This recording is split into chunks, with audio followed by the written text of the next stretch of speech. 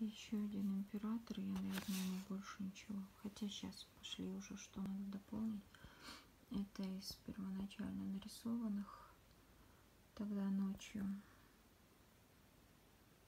Но первый хвост быка это символ фараона, что он как бык попирает чужие народы, чужие земли. То есть это, так как э, император это архетип воина, то вот эта ипостась фараона, когда он как бык все попирает, оплодотворяет и так далее, такой альфа-самец э, и мощное животное начало.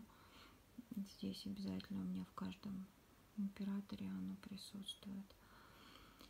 И, в принципе, это в костюмах фараона было бычий хвост.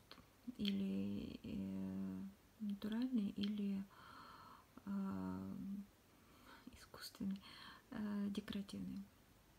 Кстати, я Иерофанта начинала рисовать. Но у меня почему-то первые два императора больше на Иерофанта смахивали для непосвященных из-за Анха.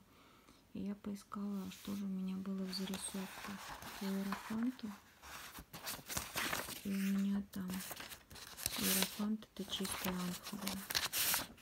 То есть вообще две руки благословляющие и он стоящий и ну, то есть не на троне, а стоит. И чистый анх я такого нарисую, но еще я нарисую классического египетского жреца в леопардовой шкуре во всех делах. Ну, не жреца Анубиса, без маски, без всего этого, но в леопардовой шкуре. Это мужская ипостась жреца.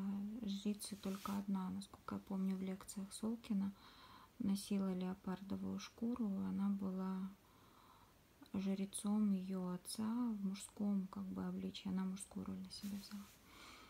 А вот.